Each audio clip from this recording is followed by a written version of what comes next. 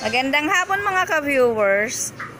March 27, 2021, may nagpagawa ng charger sa Boping two-way radio niya.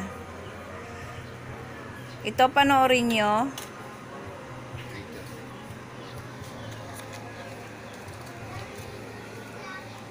Ayan yung isa natapos na. Yung positive niya, lalagyan lang ng ano, diode. Positive papunta sa isang terminal. Fast charge na yan. Yan ang palaging nasisira sa charger ng Bopen.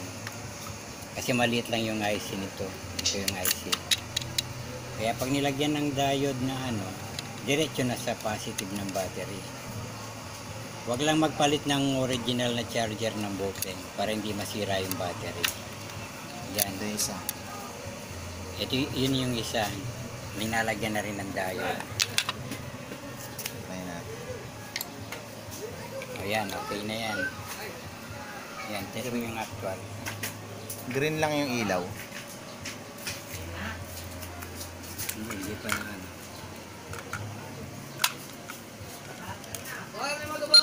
Ayan. Ayan, charge na yan. Oh, ayan, okay na. Pagawa na kayo dito sa LM Repair Shop. Salamat, ingat-ingat tayong lahat. God bless. Mga ka-viewers, ito na yung ginawa kanina. Pick your choice. Ayan na po yung mga charger.